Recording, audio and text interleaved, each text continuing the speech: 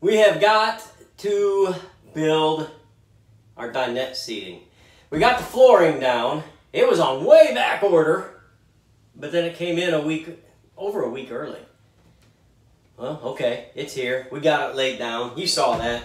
But anyway, so I've got to make the dinette seating. You know, I always say the old dinette seating, but for me, it never, like this curve, you sometimes you just can't recreate it even though you trace something. So that curve really depends on how long we can come out this way. So the old seat that comes up here, little brace right there, I measured off of it and uh, the seat is going to sit, the wood's going to sit at about 11 and a half. 11 and a half. And uh, so I marked out 11 and a half right here so I know how high to go on the bump out. You know, that's where you're going to get, you know, two, three, four inches right there.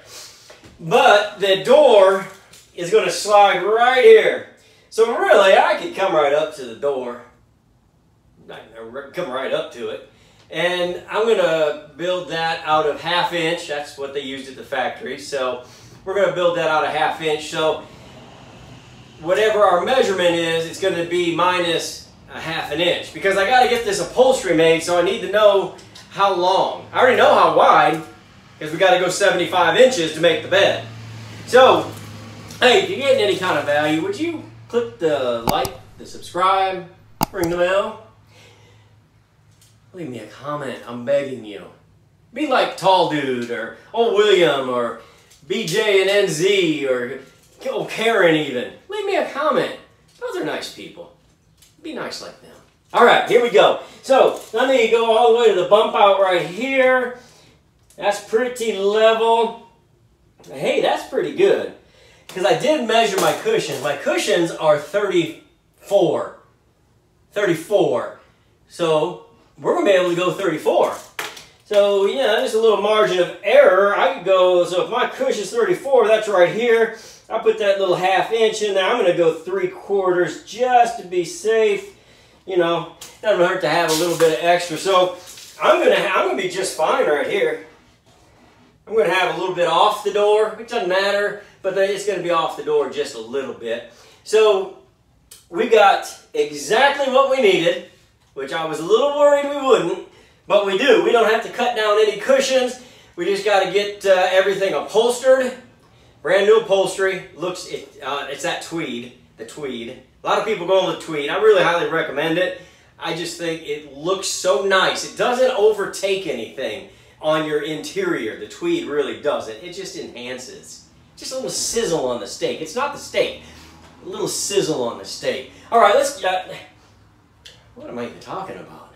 Let's get out here and let's, let's build some dinette seats. Here's our seat. This is the door side. Uh, the door side. So, I'm just going to trace this out real quick. And I'm really thinking about eliminating this. How it, how it uh, ducks in there like that, that angle. I don't really like it. I don't really think it's important to the build. I've seen lots of other people build their Scotties without putting that in.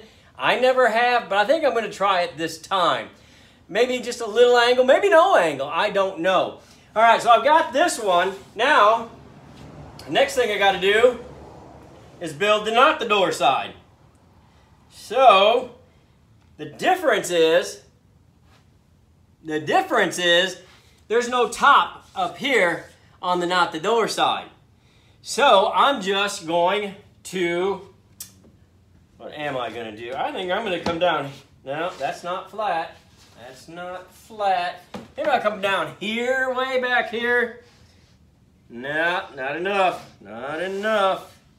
Huh. Well, instead of boring you with this, I'm going to do this. I'm going to trace it. I'm going to cut it out, and I'll show you what I did. All right, I got it laid out, and I got it cut out. Here's the door side.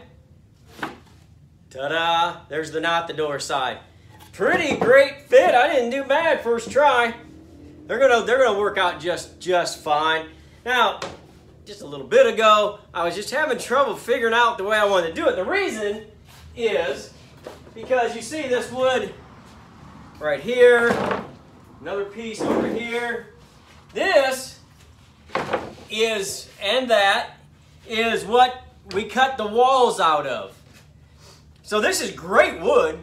We can use this for almost anything on the interior that requires half inch. So why I was getting a little wheels turning on where I cut these out is because I want to reuse as much as I can. So I there's going to be a door, a cabinet door that I'll get out of here. There's at least one here and maybe one here. So that's the reason I was doing that and trying to think about it so hard because if I if I reuse that for this and for cabinet doors and for whatever, that doesn't cost the customer anymore. See, if I can be a good steward of the customer's money, and you know, I saved however much here, and then I save more and save more. I mean, this these this plywood is like 60 something 70 bucks. I do not want to go and buy another $70 piece of plywood just to build these benches, and then the customer is like, "Hey, that's kind of expensive for benches, isn't it?"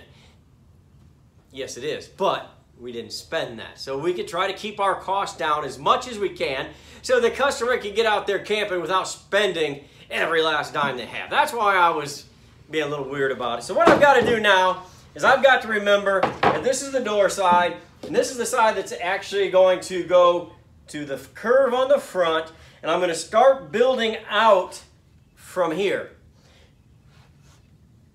And then I will put a piece of quarter inch. Now, if you remember, we saved somewhere. I saved the quarter inch as well. And I also saved the Luan from the ceiling. Where did I put that? I was thinking about it. Here it is. So every time, look at that. That's one, two, three. That's four sheets that I saved. And I actually think that I'll be able to use half of this to go on the front of that and half to go on the not the door side. And then I can use more of this half inch for the seat that you sit on. So this is, all, well actually let me show you this too. Let me show you real quick. I don't know if you saw these just sitting around here. Now when we were building the frame, we had to cut that one by, or one by four down to two inches. That left these pieces. Well, now those can be the pieces right here that stick out right there. And there might be enough just in these two sticks at least to build this. Plus we're going to need that piece on the front that the dinette's going to sit on. The dinette table is going to sit on to make a make a bed out of the front dinette. So by saving all this, I don't know how much I saved, but it's, it's going to be a lot. So I think it's a good idea. So I'm going to get these uh, kind of tacked in, tacked together, and uh, I'll show you what I'm doing when I get there. Let me take you through this. Now remember, this was all the leftovers. This is kind of framed in for right now. I did, however,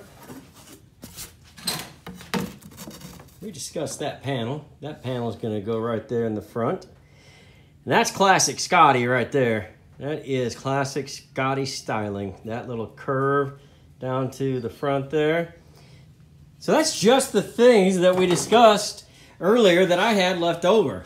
This is costing the uh, customer no extra. Now, I have got to put a solid panel right here, then a hinged panel right here, because this is on the door side, and we want that to open like that, and then we'll have a little storage down here.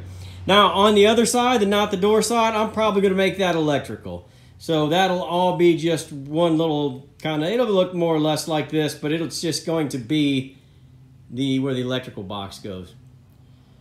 All right, I'm to get going. I'm to finish this up and I'll show you all about it. All right, I've got all the woodwork done on it. Really just waiting on the uh, wood putty to dry.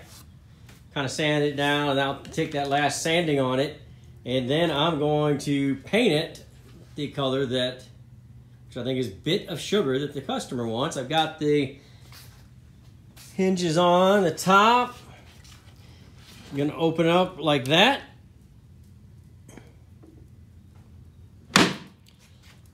And I really do like this straight. I like that better than I do that angle. I'm glad I did that. I think that for my taste, I think it looks a lot better and it's a lot stronger. It really is. There's kind of a little rear view there. And all that will be uh, nailed or screwed into the camper, into the walls here in the front and down the spine here, here, there, and there. So it's gonna be real, real hefty. So there it is. You'll see it at the reveal when I get it painted and installed. Well, I changed my mind. I felt pretty good about these, so I want to show them to you. They're not painted, obviously. This one I kept a full, because we're putting a full top on it. It's not hinged.